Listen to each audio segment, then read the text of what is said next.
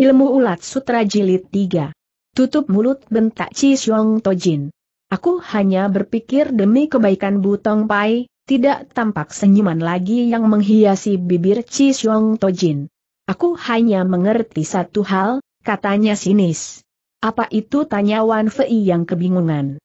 Apa pun yang akan terjadi pada Butong Pai, tidak perlu kau khawatirkan, Chi Xiong Tojin mengucapkannya sepatah demi sepatah. Kau hanya seorang bawahan di Butong Pai, Wan Fei yang terpana mendengar ucapan itu. Tampangnya sungguh mengenaskan. Dia seakan baru ditonjok perutnya oleh Chi Xiong Tojin.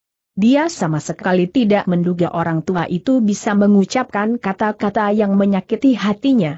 Namun mau tidak mau dia harus mengakui bahwa apa yang dikatakan oleh Chi Xiong Tojin memang beralasan. Di sini tidak ada urusanmu lagi kata Chi Xiong Tojin masih dengan nada sinis seperti tadi. Keluar Wan Fei yang merasa dadanya hampir meledak. Dia mendengus dan menghambur keluar dari tempat itu. Namun baru saja dia berlari beberapa langkah, dia merasa tindakannya itu kurang sopan. Oleh karena itu dia kembali lagi dan menjura di depan pintu. Suhu, Tecu mengundurkan diri, katanya. Setelah itu dia melanjutkan langkahnya dengan perlahan. Xiong Tojin memandangi bayangan punggung Wan Fei yang yang semakin menjauh. Di ujung bibirnya terhias senyuman.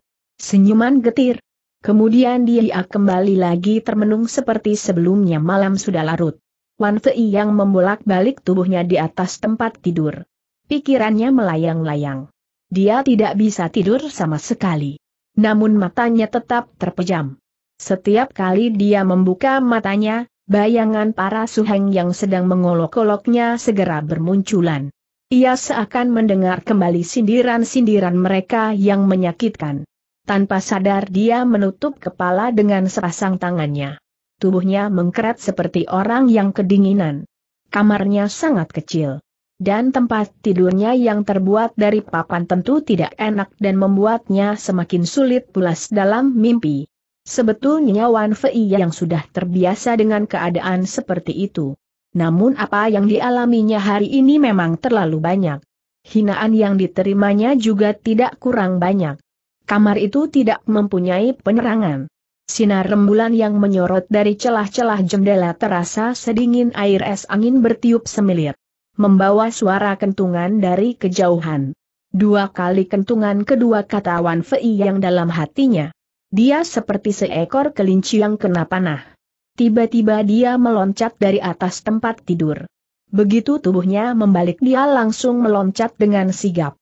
Hanya dalam waktu beberapa detik dia sudah memakai sepatunya. Kemudian sekali lagi dia berkelebat, bayangan tubuhnya sudah berada di luar kamar. Tiba-tiba saja gerakannya menjadi lincah. Di luar jendela tidak ada orang. Sepanjang koridor sepi mencekam. Pada saat seperti ini, kebanyakan orang sedang pulas dalam mimpi. Dengan seksama Wan Fei yang melirik ke kiri dan kanan. Dia berkelebat secepat kilat. Sebentar saja dia sudah sampai di pintu depan. Perlahan didorongnya pintu tersebut. Setelah yakin tidak ada orang di sekitar tempat itu, dia segera menyelinap keluar dan menutup kembali pintu tersebut. Kemudian Wan Fei yang melintasi taman dan menuju bagian belakang gunung. Kamarnya memang terpencil. Tidak ada kamar lain di sekitar itu. Di bagian ujung taman terdapat hutan pohon siong. Setelah melalui hutan kecil itu, sampailah di adi bukit yang tidak pernah diinjak murid butong lainnya. Di sana tidak ada jalan setapak. Bagi Wan Fei yang hal itu sama sekali tidak menjadi masalah. Dia berjalan di atas batu-batu karang yang berilalang. Langkah kakinya demikian ringan dan cepat. Akhirnya dia sampai pada sebuah padang rumput yang tidak terurus. Wan Fei yang menarik napas dalam-dalam. Tubuhnya mencelat dan meluncur secepat anak panah. Kedua kakinya seakan tidak berpijak pada tanah. Gerakan tubuhnya seperti melayang di atas padang rumput tersebut. Dalam generasi muda Butong Pai, dapat dikatakan Yohang mempunyai ginkang paling tinggi. Tapi seandainya dia ada di sana saat itu, tentu dia akan terkejut setengah mati. Dia pasti terpaksa harus mengakui bahwa dalam generasi muda, yang menguasai ginkang paling tinggi bukanlah dirinya, namun Wan Fei yang dari mana Wan Fei yang mempelajari ginkang setinggi ini. Angin bertiup semakin kencang. Wan Fei yang seakan mempunyai sayap di tubuhnya. Gerakannya seperti terbang saja. Setelah melintasi padang tersebut, dia sampai pada jalanan gunung yang terpencil. Langkahnya tidak berhenti. Dia terus berlari melewati sebuah hutan lagi. Akhirnya dia menghentikan gerakannya di sebuah tanah kosong. Tanah kosong itu cukup luas. Ada tiga batang pohon di bagian utara. Juga terdapat beberapa buah balok kayu yang berserakan. Kalau dibilang terpencil, tempat itu memang cukup terpencil dan seakan mengandung misteri yang dalam. Wan Fei yang menghentikan langkah kakinya di tempat itu. Kemudian dia bersiul panjang. Kakinya tiba-tiba menutul, dia melayang ke atas sebatang pohon dan berpegangan pada sebuah ranting, kemudian dia berjungkir balik tiga kali di udara dan turun kembali ke tanah persis di tengah tanah kosong tersebut. Kepalan tangannya dia songkan ke depan. Kakinya yang sebelah kiri terangkat. Kemudian dengan gaya seekor bangau dia berputaran. Gerakan tubuhnya sama sekali tidak kikuk. Bahkan mengejutkan. Apabila dikatakan dia sama sekali tidak mengerti ilmu silat, maka yang dimaksudkan tentuan Fei yang yang setiap hari menerima hinaan dari para suhengnya. Siapa yang akan percaya kalau Wan Fei yang yang sekarang merupakan orang yang sama rembulan tepat di tengah angkasa. Di bawah sinar rembulan yang mencekam, kepalan tangan Wan Fei yang seakan berubah menjadi ribuan. Suara angin menderu-deru. Lengan bajunya berkibaran. Dia berlatih dengan pikiran terpusat penuh. Ketika gerakannya terhenti, seluruh tubuhnya sudah basah kuyup oleh keringat. Segala penderitaan, rasa sedih dan kecewa seperti menguap bersama keringatnya yang mengucur deras. Akhirnya dia duduk di atas tanah. Dengan sekuat tenaga dia menarik napas dan mengembuskannya. Deru napasnya begitu keras dan memancar sampai kejauhan serta menyusup di telinga seseorang. Orang itu bertubuh tinggi kurus. Pakaiannya hitam pekat. Kepalanya juga ditutupi sehelai kain hitam. Hanya sepasang matanya yang kelihatan. Sekarang matu itu sedang memperhatikan Wan Fei Yang, dia juga melangkahkan kakinya menuju tempat di mana anak muda itu berada. Tiba-tiba tubuhnya bergerak, sama sekali tidak menerbitkan suara. Manusia yang mengenakan pakaian hitam itu seperti roh halus layaknya. Bukankah saat seperti ini juga memang merupakan saat yang tepat di mana roh halus berkeliaran Wan Fei yang duduk membelakangi orang tersebut. Dia terus menarik napas dan sama sekali, tidak sadar akan kehadiran orang tersebut. Ketika dia tersadar, kepalanya segera menoleh, jarak orang itu tinggal tujuh depa dengannya. Dia memandang dengan termangu-mangu. Setelah beberapa saat dia baru menarik napas kembali. Suhu rupanya, ilmu silatnya yang demikian tinggi, tidak usah diragukan lagi, pasti hasil didikan manusia berpakaian hitam ini. Sekarang manusia berpakaian hitam itu sedang memandangnya lekat-lekat. Apakah kau lelah sekali suaranya tidak berbeda dengan gerakan tubuhnya, seakan bukan suatu yang nyata. Tidak, Aku tidak lelah, sahut Wan Fei yang sambil menggelengkan kepalanya. Dari jauh aku sudah mendengar suara napasmu. Lagi pula seandainya kau tidak lelah, mengapa sampai aku berada sedemikian dekat, kau masih tidak menyadari Wan Fei yang tidak tahu bagaimana harus menyaut. Seandainya yang datang tadi adalah musuhmu, maka biarpun kau mempunyai sepuluh lembar nyawa, semuanya tentu sudah melayang saat ini, kata manusia berpakaian hitam selanjutnya. Meskipun kata-kata yang diucapkannya seperti sedang menggurui Wan Fei Yang, namun nada suaranya tetap datar dan tidak mengesankan apa-apa. Aku, untuk sesaat Wan Fei Yang menjadi gugup. Manusia berpakaian hitam itu mengerling ke arah Wan Fei yang sekilas, apakah kau menerima hinaan lagi siapa lagi kalau bukan para murid Bu Tong Pai, mereka selalu menganggap aku sebagai semacam permainan yang menyenangkan, kata Wan Fei Yang. Hawa amarahnya mulai meluap, pada suatu hari nanti, aku akan menunjukkan kelihayanku, manusia berpakaian hitam itu tidak menunjukkan reaksi apa-apa. Aku benar-benar tidak mengerti Wan Fei yang makin kesal mengingat semua yang dialaminya. Apa maksud tua bangka Xiong itu sebetulnya? Mengapa dia tidak bersedia menerima aku sebagai murid manusia berpakaian hitam itu hanya memandanginya tanpa mengucapkan apa-apa? Dia tahu aku selalu dihina, tapi dia tidak pernah menanggapi persoalan ini gerut Wan Fei yang kembali. Mungkin dia masih belum tahu, akhirnya manusia berpakaian hitam itu mengeluarkan pendapatnya. Huh, tidak menerima ya sudah, lagi pula kalau dilihat dari ilmu yang dikuasai oleh para murid Butong, tampaknya tidak ada yang perlu dibanggakan. Pokoknya biasa-biasa saja. Begitu aku mengerahkan sedikit tenaga, mereka bakal terjatuh pontang-panting berkata sampai di situ, Wan Fei yang baru merasa dia sudah kelepasan. Kata-katanya terhenti, dengan pandangan takut-takut dia menatap manusia berpakaian hitam itu. Aku hanya ingin melepaskan diri dari cengkeraman mereka, tidak satu jurus pun yang aku perlihatkan, Wan Fei yang menjelaskan. Aku hanya berharap kau akan memenuhi syarat yang aku ajukan. Sebelum berhasil mempelajari ilmu Bu Tong Pai, kau sama sekali tidak boleh menunjukkan bahwa kau mengerti ilmu silat, kata manusia berpakaian hitam. Tecu selalu mengingatnya setiap saat, walaupun bibirnya berkata demikian, namun hatinya tercekat. Kalau saja Wanji tidak datang pada saat yang tepat, dia pasti tidak dapat menahan diri lagi dan bocorlah rahasianya selama ini.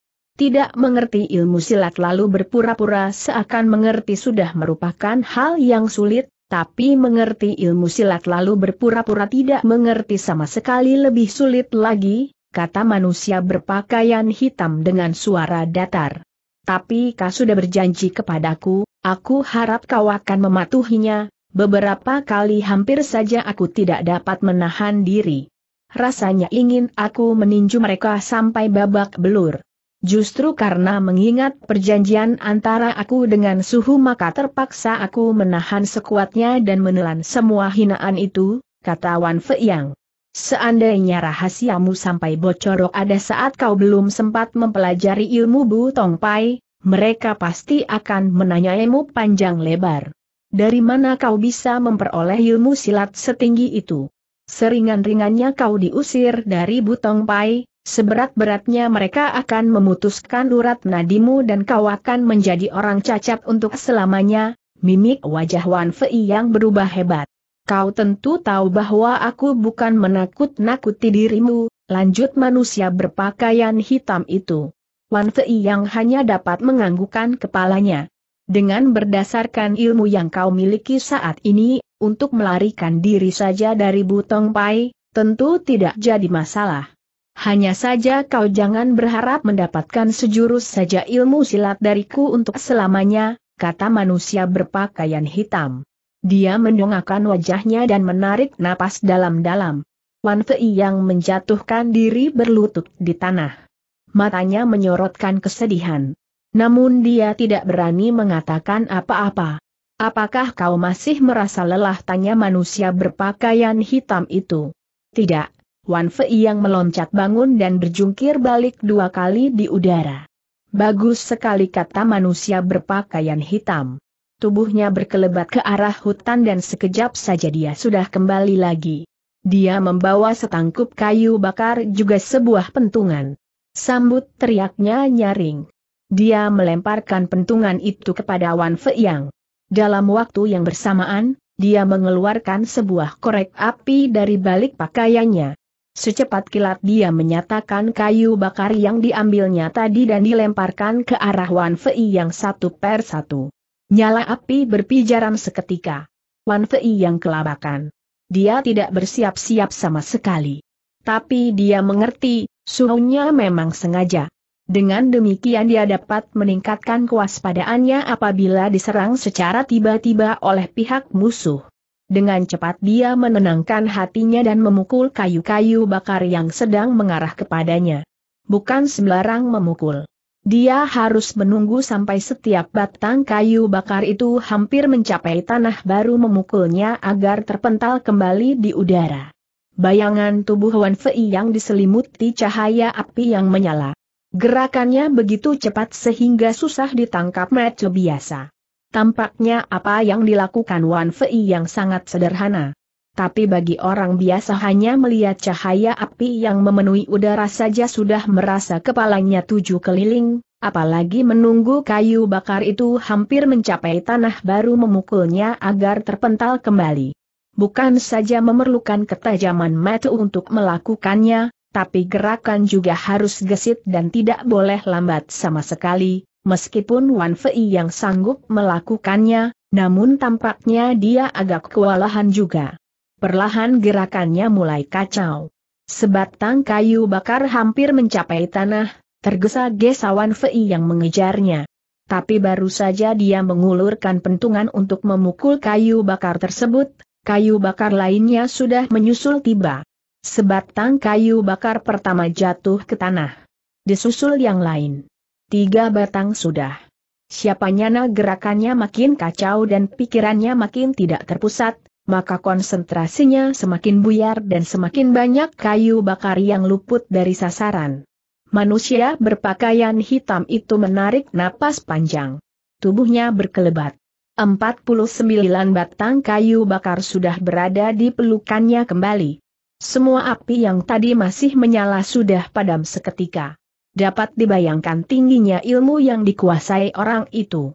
Dia mengambil pentungan dari tangan Wan Fei Yang dan menyalakan kembali kayu-kayu bakar tadi.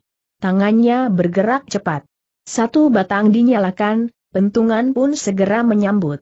Sampai semua kayu bakar sudah menyala dan melayang di angkasa, gerakannya semakin cepat dan setiap kayu bakar yang kena pukulannya jatuh di tengah tanah kosong dan membentuk barisan yang rapi. Wan Fei yang memandang dengan terkesima. Beberapa tahun belakangan ini, setiap kentungan kedua tiap malam, dia selalu datang ke tempat ini dan berlatih dengan giat. Dia tidak peduli meskipun hujan lebat atau angin kencang. Manusia berpakaian hitam itu kadang-kadang muncul, kadang-kadang tidak. Dia selalu mengenakan sehelai kain penutup muka. Sampai sekarang Wan Fei yang sama sekali belum pernah melihat wajahnya. Dia memang tidak tahu bagaimana bentuk wajah manusia berpakaian hitam itu. Dia juga tidak tahu asal-usulnya dan tidak tahu mengapa dia bersedia mengajarkan ilmu silat kepadanya namun dia tahu bahwa manusia berpakaian hitam itu mengajarkan segenap ilmunya dengan sepenuh hati dan sungguh-sungguh.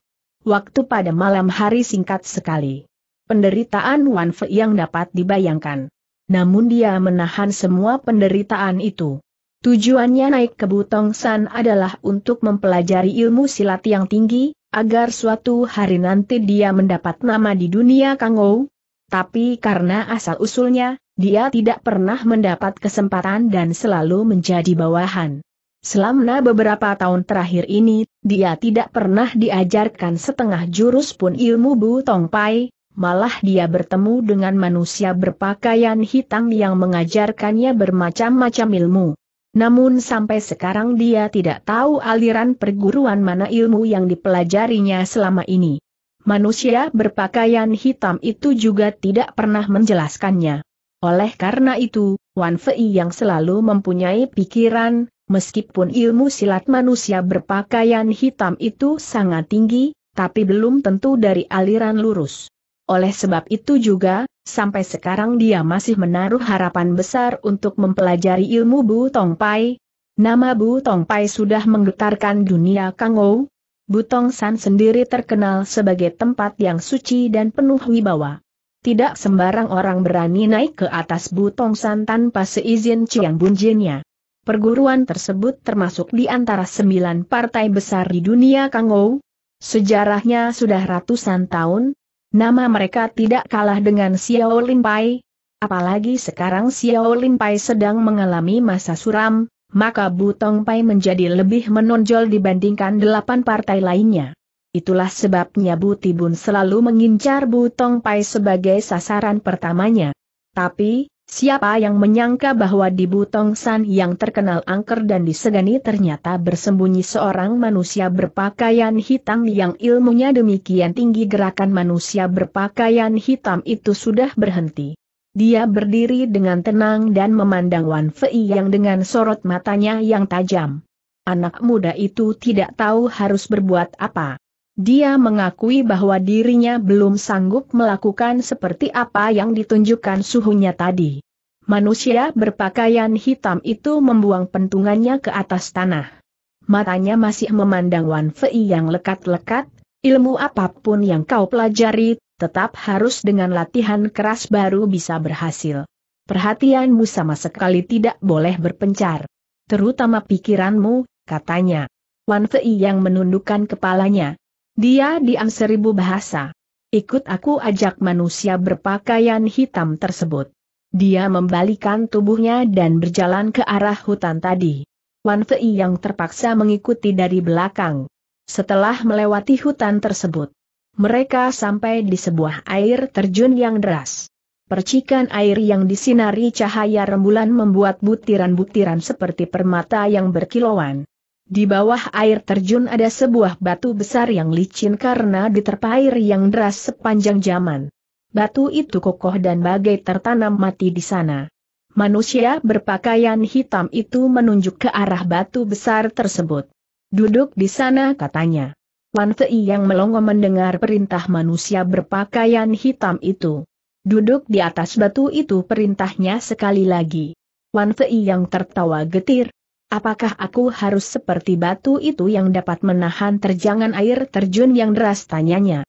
Memang demikian maksudku. Kau harus berlatih sampai sekokoh batu itu.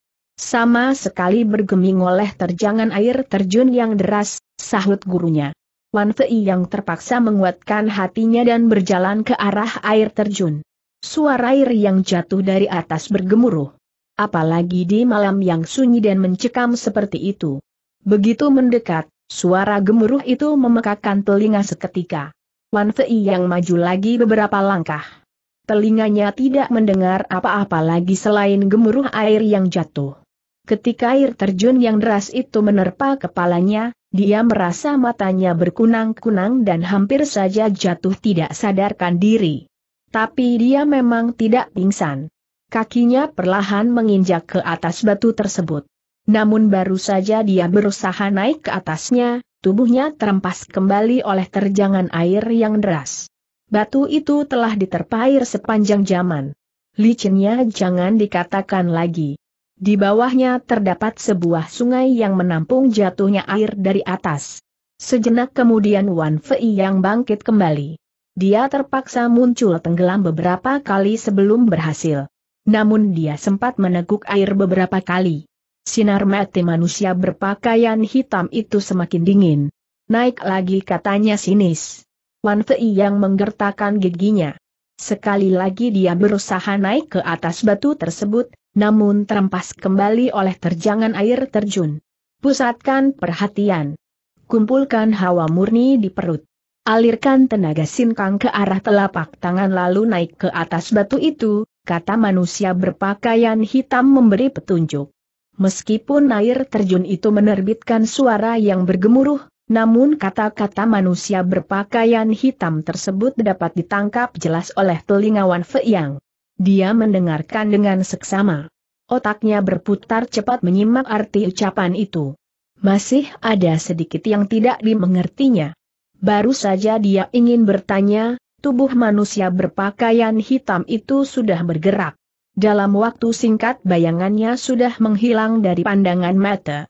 Wan Fei yang termangu-mangu memandang kepergian suhunya. Setelah sekian lama, akhirnya dia tersadar. Dia menyelamkan seluruh tubuh dan kepalanya ke dalam air. Ketika muncul kembali, tampangnya menjadi serius. Dia berenang kembali mendekati batu besar tadi. Kali ini dia tidak tergesa-gesa. Bahkan dia sangat tenang. Perhatiannya dipusatkan. Hawa murni dikumpulkan di daerah pusar. Tenaga sinkang dialirkan pada kedua telapak tangan. Sekali menyentak, dia naik ke atas batu itu.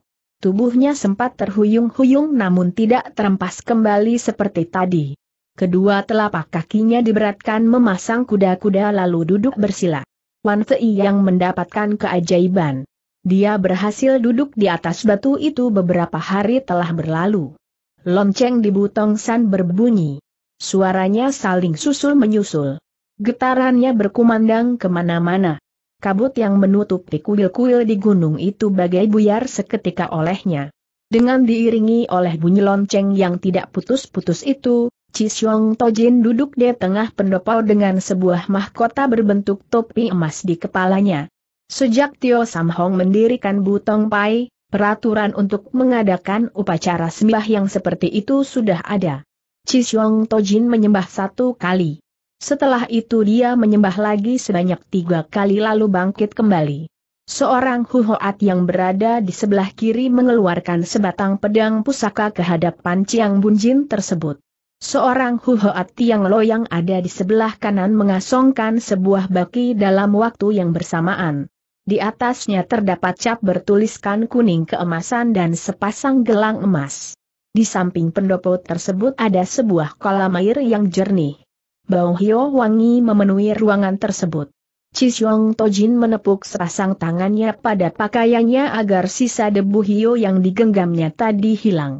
Dia menerima pedang pusaka itu dengan penuh hormat. Upacara itu sederhana namun hikmat. Setelah menerima pedang pusaka tersebut, Xiong Tojin mengambil cap yang dia songkan tadi dan dia mencap sehelai kertas yang berisikan semacam pemberitahuan bahwa dia mengangkat Pek Chiok sebagai penggantinya untuk sementara. Sedangkan sepasang gelang emas itu dimasukkannya ke dalam saku pakaian. Akhirnya dia melangkah keluar dari ruangan pendopo tersebut. Semua anak murid Butong Pai berkumpul di pendopo. Mereka memencarkan diri menjadi dua bagian. Tidak terlihat kecemasan yang terpancar di wajah mereka. Xiong Tojin duduk di atas sebuah kursi batu di luar pendopo. Dua orang tosu setengah baya berdiri di kedua sisinya. Mereka adalah murid-murid pendahulu Xiong Tojin. Yang satunya bernama Bok Chiok, sedangkan saudaranya bergelar Ti Chiok.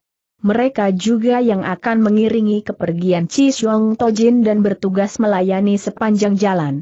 Bok Chiok menyandang sebuah bungkusan di bahunya. Xiong Tojin memang tidak mau membawa orang banyak. Dia merasa kedua orang ini saja sudah cukup. Lonceng masih berbunyi, ketiga orang itu melewati barisan para murid butong. Wajah mereka tenang sekali. Angin bertiup perlahan, membawa kesejukan yang menggigil Wan Fei yang tidak ikut meramaikan suasana di pendopo itu. Ketika lonceng berbunyi, dia sudah menyibukkan diri di kandang babi. Dari bukit di mana dia bekerja, dia dapat melihat batu-batu tangga yang menuruni bawah gunung. Dia juga melihat ketika Chi Xiong dan kedua muridnya meninggalkan Butong San. Angin mulai kencang. Rambutnya awut-awutan. Wan Fei yang memanjangkan lehernya memandang ke bawah. Dalam hatinya diam-diam dia berdoa. Biarpun selama ini Chi Xiong Tojin selalu membuat hatinya sedih, namun pada saat seperti ini dia masih mendoakan keselamatan orang tua itu. Dia sendiri merasa heran. Tak perlu diragukan lagi, sebetulnya dia memang orang yang baik hati para murid Butong Pai berkumpul di kaki gunung untuk mengantarkan kepergian Chi Xiong Tojin. Kuda-kuda sudah disiapkan. Ketika orang itu naik ke atas kuda dan memulai perjalanan. Pagi sudah merayap sedikit demi sedikit, tapi tidak terlihat matahari bersinar. Awan kebuah menutupi langit. Apakah ini suatu pertanda buruk senja hari? Tembok kota sudah terlihat di kejauhan. Cisiong malah menghentikan kudanya di tepi jalan. Kuda yang mereka naiki sekarang bukan kuda yang sama ketika mereka meninggalkan Butong San. Selama 17 hari perjalanan, mereka sudah tiga kali ganti tunggangan. Bok Chok dan Ti Chiok mengikuti Chi Xiong Tojin dari belakang.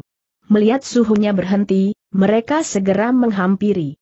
Suhu, kota tidak seberapa jauh lagi, kelanjutan kata-kata Ti Chiok tidak sulit dimengerti. Kota itu sudah termasuk wilayah Butibun kalau kita ingin tenang, maka lebih baik tidak masuk ke kota itu, sahut Chi Xiong Tojin. Tucok menganggukkan kepalanya. Lebih baik kita menumpang satu malam di rumah penduduk sini. Mungkin mereka bersedia menerima kita, kata Chi Xiong Tojin seraya turun dari kudanya. Bok Chok dan Ti Chok segera mengikuti tindakannya. Ti Chok mempercepat langkahnya mendahului Chi Xiong Tojin. Dia mengulurkan tangan dan mengetuk sebuah rumah penduduk yang terdapat di samping jalanan itu. Tidak lama kemudian pintu rumah tersebut dibuka. Dari dalam muncul seorang nenek tua. Begitu tuanya sehingga giginya hanya tinggal dua saja. Wajahnya lembut, senyumannya juga ramah. Dia agak tertegun melihat kehadiran ketiga orang itu. Tot yang bertiga, Xiong Tojin merangkapkan sepasang telapak tangannya dan menyebut nama Buddha. Lojin ke, orang tua, Pinca bertiga ingin menumpang satu malam. Apakah kedatangan kami ini mengganggu Toti yang terlalu banyak peradatan? Lopocu, nenek tua, tidak berani menerimanya. Mari masuk, ajaknya sambil melebarkan pintu rumah dan mempersilakan ketiga orang itu masuk. Hanya kami sepasang suami istri tua yang tinggal di sini. Sama sekali tidak merasa terganggu oleh kehadiran para totiang, kalau demikian, kami terpaksa merepotkan, sahut Chi Xiong Tojin sambil tersenyum lebar. Jangan sungkan, nenek tua itu melangkah ke arah kamar tidur di sebelah kanan. Harap para totiang duduk di ruang tamu. Aku akan menyuruh Tengke, panggilan untuk suami, menyiapkan sedikit hidangan, dia merandek sejenak, kuda para toti yang biar ditambatkan dekat sumur saja, Xiong menolehkan kepalanya kepada Bok Chiok dan Ti Chiok. Ti Chiok, kau jaga kuda-kuda.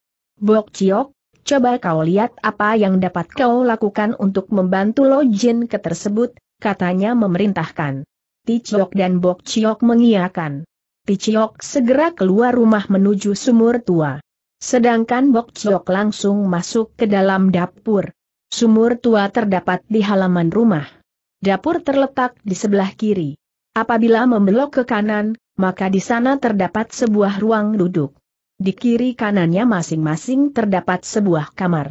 Kamar-kamar semacam itu memang biasanya disewakan untuk pelancong-pelancong yang kemalaman di dalam kamar sebelah kiri, seorang kakek baru beranjak dari tempat tidurnya. Melihat wajah sang nenek yang berseri-seri, dia merasa heran. Siapa yang datang tanyanya ingin tahu. Tiga orang totiang yang sedang mengadakan perjalanan, sahut istrinya. Orang asing tanya kakek itu kembali. Aku belum pernah melihat mereka, lebih baik kita laporkan saja. Beberapa waktu yang lalu, utusan Butibun sudah menurunkan perintah. Kalau melihat orang asing, kita harus melapor ke kantor pusat, kata kakek tersebut. Sudahlah, kau tua bangka ini. Buat apa mondar-mandir? Mereka hanya tiga orang toti yang yang mengadakan perjalanan, sama sekali tidak tampak seperti orang dunia kangou lainnya. Lebih baik hemat sedikit tenagamu itu. Layani para tamu. Sarang kita ini sudah lama tidak kedatangan tamu, sahut nenek itu mengomel. Kakek tua itu tersenyum lebar, siapa tahu ketiga toti yang itu bisa melihat nasib. Mungkin mereka bisa mengatakan kapan kita akan mendapat rezeki besar, sahutnya. Otakmu selalu memikirkan bagaimana caranya untuk kaya. Bagi orang seusiamu, kesempatan untuk mendapatkan rezeki besar sudah hampir tidak ada. Jangan berpikir yang bukan-bukan lagi. Cepat bereskan kamar sebelah sana, kata istrinya. Baiklah, suara pembicaraan mereka tidak terlalu keras, tapi Mok Chiok yang berada di luar kamar dapat mendengarnya dengan jelas. Dia segera kembali ke Chi Xiong Tojin. Suhu, orang-orang di rumah ini merupakan kaki tangan Butibun, katanya melaporkan. Mengapa heran sahut Chi Xiong Tojin sambil membentangkan kedua tangannya, malam ini kita pasti tidak bisa tidur tenang, Bok Chiok tertegun mendengar perkataan orang tua itu. Kecu yakin mereka tidak akan melaporkannya, sayangnya, kita sudah berada di bawah pengawasan orang Butibun, kata Chi Xiong Tojin sambil menarik napas sekali lagi. Bok Chiok masih tidak mengerti. Chi Xiong menolehkan kepalanya ke arah pintu depan. Tiba-tiba dari luar terdengar tiga kali ketukan. Ti Chiok, buka pintu perintah Chi Xiong Tojin pintu segera dibuka, empat orang laki-laki berpakaian merah berdiri di depan pintu. Ketika melihat Ticiok, mereka langsung mengajukan pertanyaan, apakah Chi Xiong Tojin ada di tempat pintu ada di sini, sahut Chi Xiong Tojin sambil melangkah keluar. Kedua suami istri tua itu mendengar suara percakapan. Mereka segera ikut keluar. Melihat kehadiran keempat orang laki-laki berpakaian merah tersebut, wajah mereka berubah hebat. Xiong Tojin menoleh kepada kedua orang itu. Pinto sungguh menyesal telah mengejutkan kedua orang tua, katanya. Kakek dan nenek itu tidak bisa mengatakan apa-apa. Tamu agung telah datang dari jauh, maafkan kami terlambat menyambut. Harap jangan disimpan dalam hati, kata salah seorang laki-laki berpakaian merah tersebut. Tidak perlu banyak adat, sahut Chi Xiong Tojin sambil tampil ke depan. Bok Chok dan Ti Chiok mengawal di kedua sisinya. Kota Cui Hun Cheng di depan sana memiliki sebuah penginapan bernama Go Lok Kek Ken. Kami sudah menyiapkan berbagai hidangan yang lezat untuk para totiang. Kami juga sudah menyediakan tiga buah kamar. Anggota Butibun cabang Cui Hun Cheng berjumlah 172 orang sudah berkumpul di depan kota menyambut kedatangan para Totiang, kata laki-laki berpakaian merah yang tadi. Xiong Tojin tertawa datar. Pinca bertiga tentu tidak enak membiarkan mereka menunggu begitu lama. Ticiok, siapkan semuanya, Ticiok mengiyakan. Dia segera menarik kuda-kuda mereka ke depan rumah. Keempat laki-laki berpakaian merah juga menunggangi kuda masing-masing. Dua orang berada di depan sebagai penunjuk jalan. Malam sudah menjelang belum lagi memasuki kota, lampu-lampu sudah terlihat. Dua baris lentera di sepanjang jalan terlihat seperti dua ekor ular panjang. Malam semakin larut, lentera semakin terang. Barisan lentera memanjang dari tembok kota sampai penginapan Ken. 172 anggota Butibun berdiri memanjang di kiri kanan jalan. Di pinggang mereka terselip sebatang golok baja. Tangan kanan memegang sebuah lentera. Dada mereka dibusungkan. Berdiri tegak tanpa bergerak ataupun berbicara. Di bawah sinar rembulan pakaian mereka yang berwarna merah seperti segumpal darah. Meti mereka pun ikut berwarna merah karena pantulan sinar lentera bumi dan langit mencekam, jalan panjang membisu. Suhu, lihat kata Ticiok sambil menunjuk ke arah barisan orang-orang yang membawa lentera.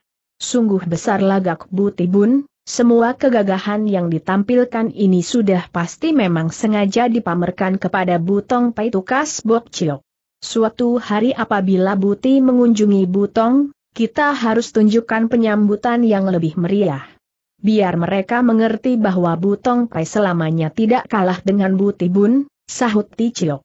Xiong Tojin hanya tertawa datar mendengar perkataan kedua muridnya mereka melintasi jalan panjang. Derap kaki kuda yang berbunyi tik-tak, tik-tak memecahkan kesunyian malam. Terang, 172 anggota Butibun menghunus golok mereka serentak. Mulut mereka mengeluarkan suara teriakan nyaring. Sinar golok seperti salju. Pakaian mereka yang merah ibarat lempengan besi. Suara teriakan mereka seperti guntur yang menggelegar memecah angkasa. Sinar lentera bergerak-gerak. Untuk sesaat suasana bagaikan langit runtuh ke bumi. Wajah Bok Chok dan Ti Chok berubah hebat. Sedangkan Chi Xiong Tojin tenang saja. Seakan tidak ada apa-apa sama sekali. Golok terhunus, sekali diputarkan kemudian masuk kembali ke dalam sarungnya. Gerakan dan teriakan mereka sangat teratur. Pasti sudah melalui latihan yang cukup lama. Apakah ini termasuk acara penyambutan atau hanya sekadar memamerkan kekuatan? Tentu hanya orang Butibun sendiri yang paling jelas. Xiong Tojin merangkapkan sepasang telapak tangannya di depan dada. Buliang Esouhut ujarnya. Suaranya begitu tenang, demikian juga mimik wajahnya malam belum terlalu larut. Lentera masih menyala. Kamar itu bersih sekali. Lentera bersinar terang. Cisiong duduk seorang diri di sisi lentera. Tangannya menggenggam belahan giok bergambar burung hong. Tentu saja burung hang itu hanya berupa ukiran. tidak mungkin keluar dari belahan giok itu dan menembus langit biru. Metu Xiong menatap belahan giok itu lekat-lekat. Perasaannya malah seperti melihat burung hang tersebut terbang di angkasa. Mimik wajahnya aneh sekali. Sepertinya sedang memikirkan suatu rencana. Entah berapa lama sudah berlalu. Akhirnya dia berdiri dan berjalan menuju jendela. Tirai jendela setengah terangkat. Dia dapat melihat jalanan di bawah jendela tersebut. Beberapa anak murid Butibun mondar-mandir di bawah. Mereka mungkin diperintahkan untuk menjaga ketat. Kemunculan Chi Xiong Tojin di depan jendela segera menarik perhatian mereka. Para penjaga itu mendongakkan wajahnya serentak dan memandang ke arahnya. Chi Xiong Tojin menurunkan tirai jendela. Dia berjalan kembali ke sisi meja dan memadamkan lentera.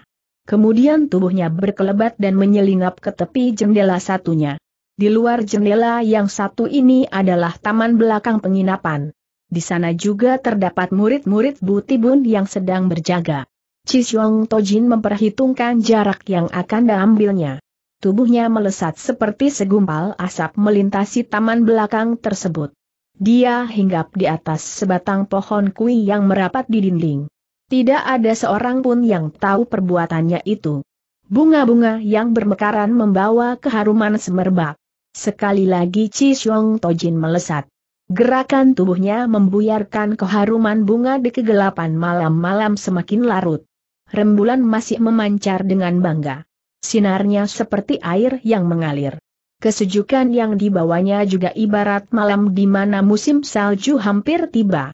Gerakan tubuh Chi Xiong semakin cepat. Tanpa menimbulkan suara sedikit pun dia mendarat di dinding seberang yang tinggi. Tembok itu hampir mencapai empat cang. Di bawah sinar rembulan malah tampak hampir mencapai langit. Xiong Tojin menarik napas dalam-dalam. Tubuhnya melesat seringan kapas. Meskipun gintangnya sangat tinggi, namun mustahil mencapai dinding tersebut dengan satu kali loncatan. Sekali menutul dia sudah meloncat setinggi tiga cang. Sebelum berat tubuh membawanya turun kembali, kakinya cepat menapak tembok dan mencelat lagi ke atasnya. Dengan demikian dia berhasil mencapai tembok atas dinding tersebut. Ilmu yang digunakannya merupakan salah satu dari pusaka Butong Pai yaitu Tehun Chong, mendaki tangga awan di balik tembok tersebut ditanam banyak pohon dan bunga-bunga. Pemandangannya sangat indah. Di sudut sebelah kiri ada sebuah kolam yang jernih. Air dalam kolam itu datar bagai cermin. Halaman di sekitar sunyi mencekam. Di samping kolam terdapat sebuah bangunan dua tingkat. Di lantai atas terlihat penerangan masih menyala. Kertas jendela memperlihatkan bayangan karena pancaran sinar lentera. Terlihat bayangan seorang wanita yang sedang termenung. Wanita itu berambut panjang dan mengenakan pakaian suatu daerah tertentu yang bagian bahunya terbuka. Bayangan wanita itu terpantul dari kertas jendela bagaikan sebuah lukisan. Kertas jendela seputih salju. Bayangan hitam menyendiri. Pemandangan itu membawa keindahan tersendiri. Indah tapi mengenaskan setelah berhasil naik ke atas dinding tinggi itu, Xiong Tojin langsung dapat melihat bayangan wanita yang indah dan tampak kesepian itu. Dia seperti ikut merasakan kesepian hati wanita tersebut. Tiba-tiba dia menarik napas panjang. Sambil menarik napas, tubuhnya berkelebat mendekati tepi jendela itu. Cahaya rembulan menyinari bayangan tubuhnya yang laksana kelelawar terbang melintasi malam. Wanita di dalam loteng itu masih tidak menyadari kehadirannya.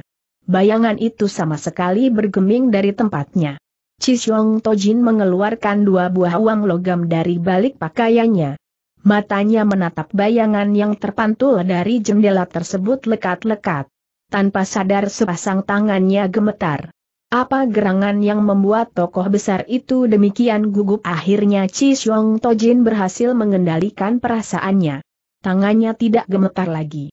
Dia melemparkan uang koin itu di angkasa dan keduanya saling berbenturan dan menimbulkan bunyi ting.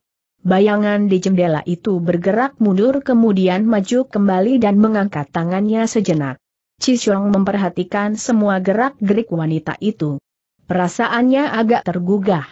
Sebuah suara yang lembut terpancar dari balik jendela tersebut, kau sudah datang betul, aku sudah datang, sahut Chi Xiong Tojin kemudian menarik napas sekali lagi. Aku mengira kau sudah melupakan tempat ini, kata wanita tersebut. Mana mungkin tapi, sampai malam ini kau baru datang kembali, aku yakin kau tahu alasannya, aku justru terlalu mengerti, kemudian terdengar suara tawa yang dingin dan datar. Xiong Tojin menundukkan kepalanya. Sulit menjelaskan perasaannya saat itu. Aku tahu, selama ini aku terlalu banyak salah padamu, katanya. Apakah kedatanganmu malam ini hanya untuk mengucapkan kata-kata ini tanya wanita itu sendu. Xiong Tojin tidak menyaut. Banyak hal yang aku ketahui, kata wanita itu melanjutkan. Dia kembali menarik napas panjang. Setelah tanggal 9 bulan 9, pasti ada sesuatu keputusan, berapa bagian keyakinan yang kau miliki tanya wanita itu. Sepuluh bagian, sahut Si Xiong Tojin dengan penuh keyakinan. Lalu bagaimana tanya wanita itu kembali. Apakah kau akan meninggalkan Butong Pai dan melepaskan jabatanmu sebagai Ciang Bunjin partai itu? Aku memang berniat melepaskannya, sahut Si Xiong Tojin sambil menganggukkan kepalanya. Lalu aku tidak pernah lupa apa yang pernah kujanjikan kepadamu, benarkah kau tidak pernah melupakannya setiap saat selalu teringat dalam hati, tiba-tiba wanita itu tertawa terbahak-bahak. Suara tawa itu sungguh mengenaskan. Xiong Tojin termangu-mangu menatap bayangannya. Sayang sekali, suara tawa itu terhenti seketika. Apanya yang harus disayangkan masih ada satu hal yang kau lupakan, kata wanita itu. Apa kau lupa sudah berapa tahun aku menunggumu? Sekali lagi Xiong Tojin tertegun. Sudahlah, wanita itu kembali menarik napas dalam-dalam. Aku toh sudah bersiap melupakan segalanya, kau, kita sudah sama-sama tua. Buat apa kita demikian serius? Ci Xiong Tojin langsung terdiam mendengar ucapan itu. Meskipun kau mengatakan bahwa keyakinanmu sampai mencapai sepuluh bagian, sebetulnya dalam pertarungan ini kau sendiri belum seyakin itu, Metu Chi Xiong Tojin bersinar tajam, bagaimana kau dapat berkata begitu kalau kau memang pasti yakin akan memenangkan pertarungan, untuk apa kau datang ke sini lebih dahulu Chi Xiong Tojin tidak sanggup menyaut. Biar bagaimanapun, Aku tetap berharap kau dapat kembali ke Butong San dengan selamat. Selama beberapa tahun ini, bagaimana kehidupanmu tiba-tiba Chi Xiong Tojin mengajukan pertanyaan. Baik, bolehkah aku masuk ke dalam kamarmu tanya Chi Xiong Tojin dengan suara lirih.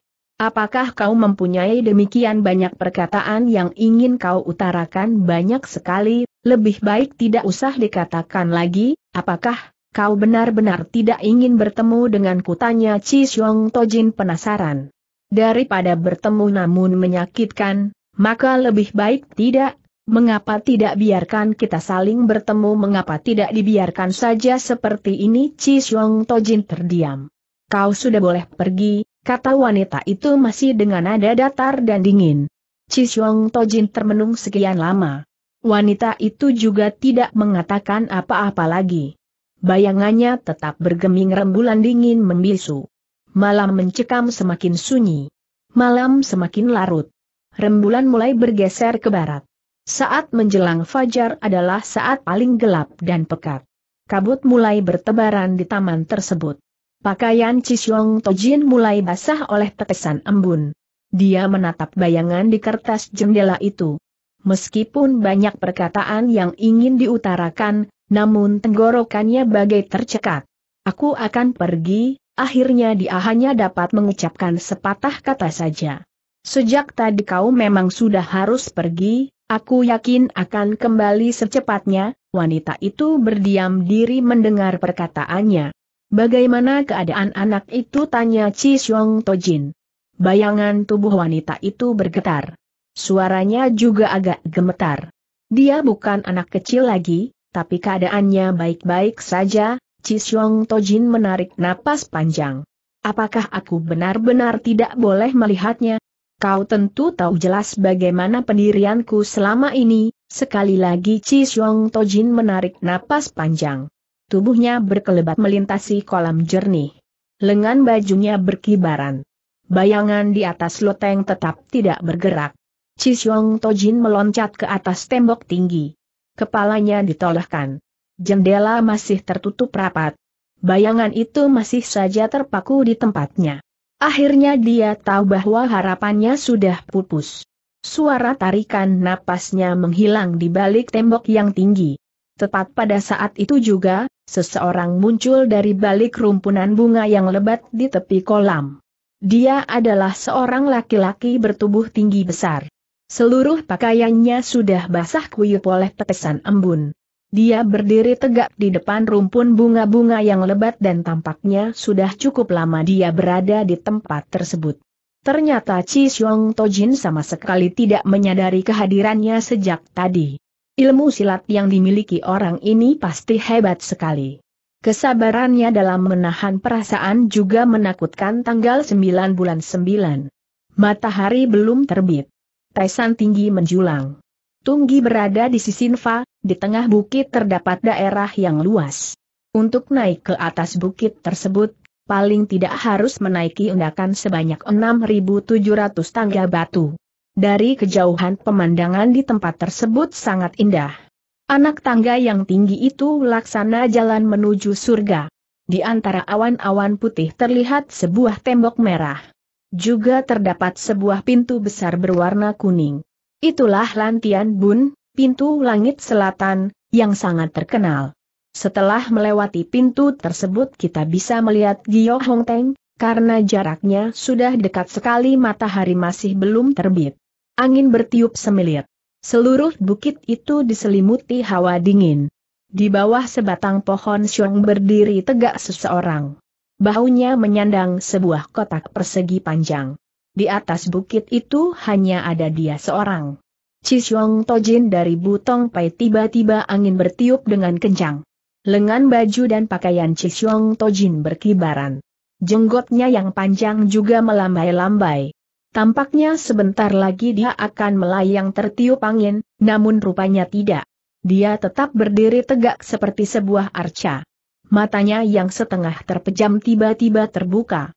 Burung-burung beterbangan dari bawah bukit dengan keadaan panik. Jumlahnya beribu-ribu memenuhi angkasa. Pada saat itu, udara dingin membuyar. Di atas sebuah batu berjarak sepuluh dipa dari tempatnya telah berdiri tegak seseorang. Burung-burung masih beterbangan dengan panik.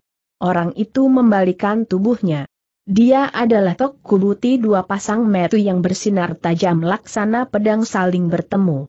Cisyong Tojin tidak bergerak, Tok Kubuti juga berdiri bergeming. Pada saat itu juga, metu dan tubuh kedua orang itu seakan telah membeku menjadi es batu.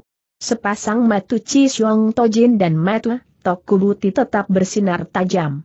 Mereka tentu sedang mengukur kekuatan masing-masing melalui pandangan tersebut. Keduanya tidak ada yang saling mengalah. Awan bergerak di langit di bagian timur. Segaris sinar berwarna keemasan mulai muncul. Sinar yang indah itu perlahan berubah menjadi bulatan kemudian berubah menjadi bola api. Bulat dan merah. Bola api itu bergerak perlahan melintasi awan putih dan bukit yang menghijau. Bola api itu bangkit dengan kemalas-malasan. Warnanya semakin lama semakin terang. Merahnya seperti batu manau. Bulatan yang belum jelas semakin kentara. Menembusi awan putih dan meninggalkan tepian laut. Naik ke atas langit dan memancarkan cahayanya dengan gagah. Menikmati matahari terbit di atas Taisan merupakan pemandangan yang demikian memikat hati. Cisyong Tojin dan Tok Kubuti sama sekali tidak tergerak oleh keindahan tersebut. Angin masih bertiup. Lengan baju mereka melambai-lambai. Di bawah cahaya sinar mentari, tongkat berkepala naga di tangan kiri Tok Kubuti seperti benda hidup. Wajahnya menghadap ke timur. Metu dan mentari sama-sama bercahaya. Kelopak matanya bergerak sekilas. Demikian juga ujung bibirnya. Akhirnya dia mengucapkan sepatah kata, sepuluh tahun telah berlalu, hektometer, Cisyong Tojin menyahut datar. Sepasang matu dan tubuhnya yang bagaikan es tadi nampaknya mulai mencair. Sungguh tidak disangka, sepuluh tahun kemudian, hari ini, pendekar yang namanya masih menonjol di bulim masih juga kita berdua, Tok Kubuti menarik napas panjang.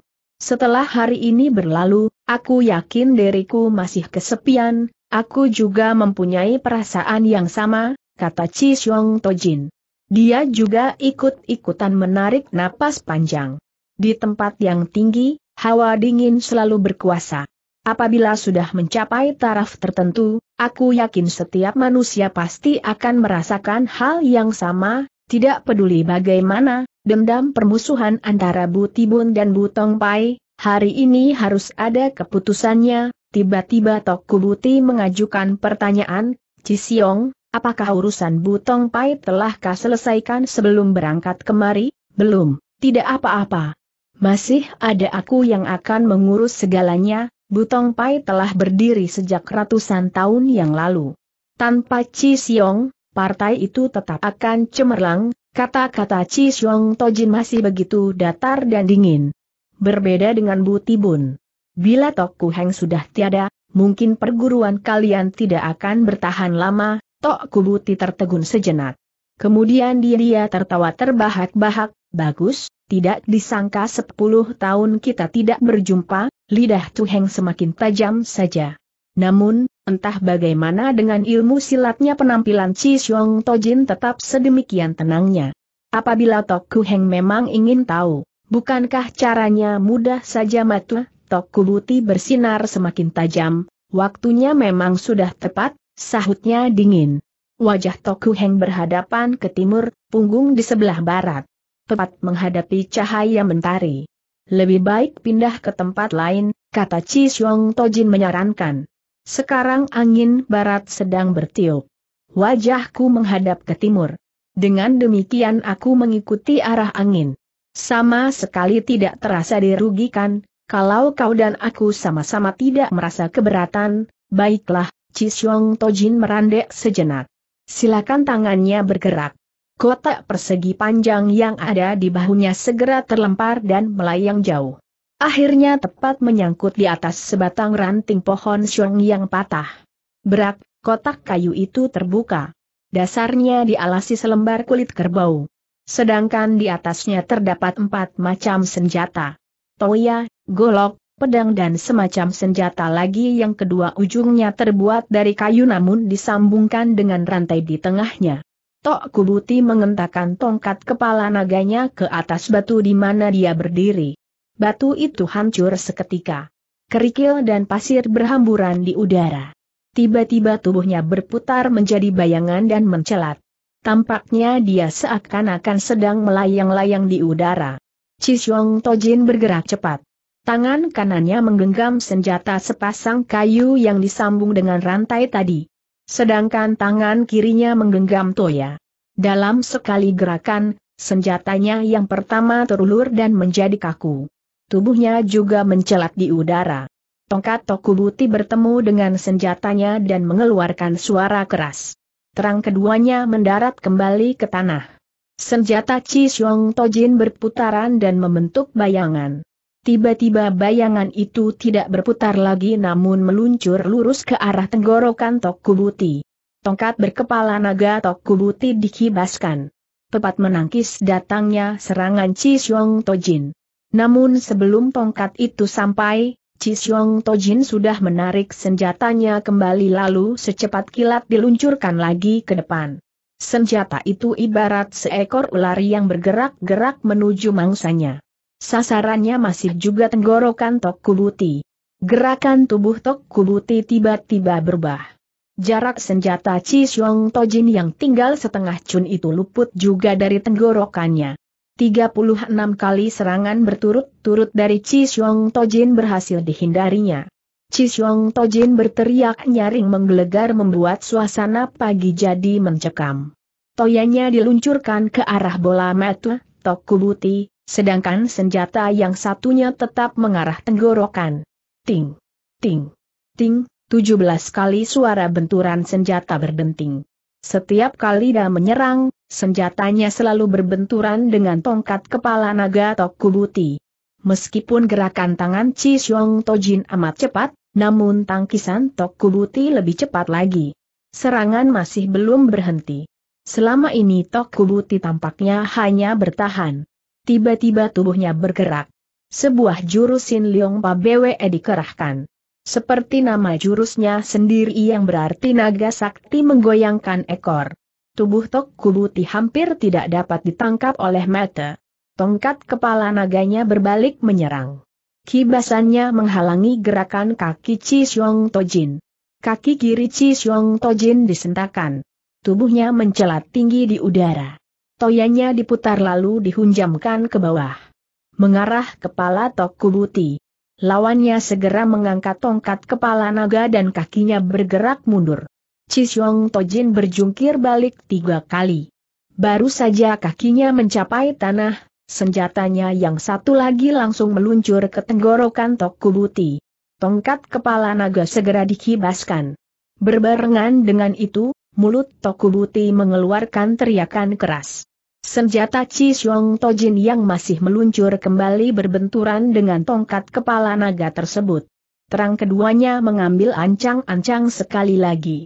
Senjata Chi Xiong Tojin meluncur cepat. Tongkat kepala naga Tok Kubuti sudah siap-siap menyambutnya. Mulut naga di atas tongkatnya menggigit senjata Chi Xiong Tojin seketika. Tosu itu agak terkejut. Kakinfa cepat-cepat mundur tiga langkah. Namun Tok Kubuti tak memberinya kesempatan. Chi Xiong Tojin mundur lagi. Dia menggunakan gerakan Tehuncong untuk menghadapi lawannya. Dengan bantuan jurus itu, dia dapat menanggulangi kesulitannya tadi. Kedua senjatanya kembali menyerang Tok Kubuti. Bagus seru Tok Kubuti melihat kelincahan lawannya. Tubuhnya berkelebat. Senjata Chi Xiong Tojin lewat di samping lehernya, kemudian membentur gunung-gunung yang ada di belakangnya. Prak, batu itu terbelah menjadi dua. Sekali lagi tubuh Chi Xiong Tojin mencelat ke udara. Hati-hati senjata rahasia katanya memperingatkan. Tiba-tiba tubuhnya tertutup oleh titik putih yang berjumlah banyak. Tujuh macam senjata rahasia dilancarkan dalam waktu yang bersamaan.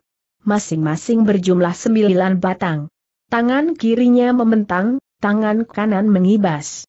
63 batang senjata rahasia segera meluncur mengarah seluruh tubuh Tok Kubuti. Terdengar suara menggelegar di angkasa, menggetarkan hati siapa pun yang sempat mendengarnya. Gerakan tubuh Chi Xiong Tojin masih belum berhenti. Dia berjungkir balik lagi sebanyak tiga kali. 189 batang senjata rahasia diluncurkan dalam waktu yang bersamaan. Gerakan tubuh Tok Kubuti sendiri ibarat seekor naga yang dikurung titik hujan yang deras. Sekali lagi dia berteriak, tubuhnya berputar. Telapak tangannya menghantam keras. Terdengar suara menggelegar. Cahaya merah memenuhi tempat itu. Berpijaran bagai bunga api. 252 batang senjata rahasia yang dilancarkan Chi Xiong Tojin terpental sejauh tiga depa. Tok Kubuti tertawa terbahak-bahak, Chi Xiong, kau sama sekali tidak menyangka aku menguasai jurus yang satu ini, bukan tanyanya dengan nada angkuh. Chi Xiong Tojin tidak menyaut. Tubuhnya mendarat ke atas tanah. Tangannya kembali terulur. Dengan cepat dia sudah meraih kembali toya yang diletakkannya di tanah tadi. Toya itu sebenarnya berukuran pendek.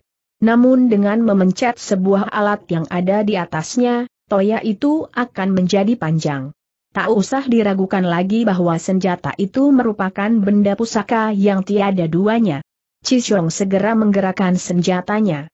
Dalam waktu yang singkat, mereka sudah bertarung sebanyak 180 jurus. Masih belum terlihat siapa yang akan kalah dan siapa yang akan meraih kemenangan. Namun, justru pada jurus ke-180 itulah, Toya Xiong Tojin dihantam oleh tongkat kepala naga Tok Kubuti sehingga putus menjadi dua. Xiong Tojin sempat terkesima sejenak. Kemudian dia, tersadar dan cepat-cepat mengambil golok yang ada dalam kotak persegi tadi.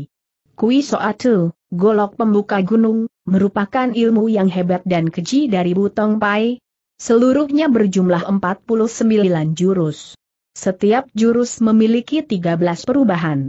Golok dan tubuh Chi Xiong Tojin bergerak serentak. Dia menyerang berturut-turut. Gerakannya begitu cepat, Sehingga bukan saja goloknya tidak terlihat. Bahkan bayangan tubuhnya tertutup sinar golok tersebut. Tok Kubuti terdesak mundur sebanyak sepuluh langkah. Meskipun demikian, tongkat kepala naganya masih menangkis dengan cekatan.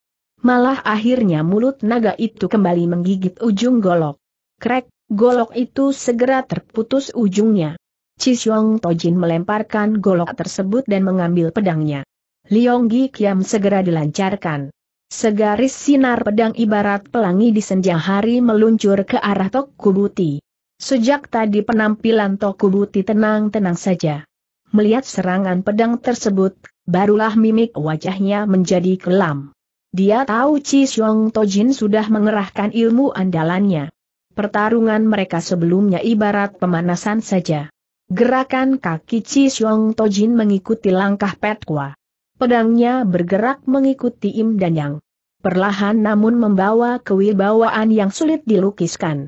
Setiap pedangnya bergerak, selalu ada ratusan titik putih mengiringinya. Gerakan pedang di tangan Chi Xiong Tojin dari lambat berubah cepat.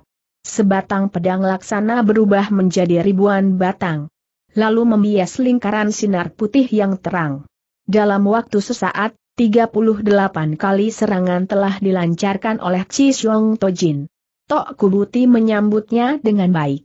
Meskipun demikian, keringat sebesar kacang kedelai telah membasahi kening kedua orang itu. Sinar pedang yang berkumpul membuyar menjadi sinar terang bagaikan lentera yang dinyalakan. Kadang-kadang terlihat sebaris sinar yang lebih terang berkelebat. Persis seperti petir yang menyambar. Sinar mata, Tok Kubuti semakin tajam. Dari jarak yang jauh dia sudah dapat merasakan percikan nyeri yang ditimbulkan oleh hawa pedang tersebut. Namun Tok Kubuti bukanlah tokoh nomor satu kalau demikian saja sudah kelabakan.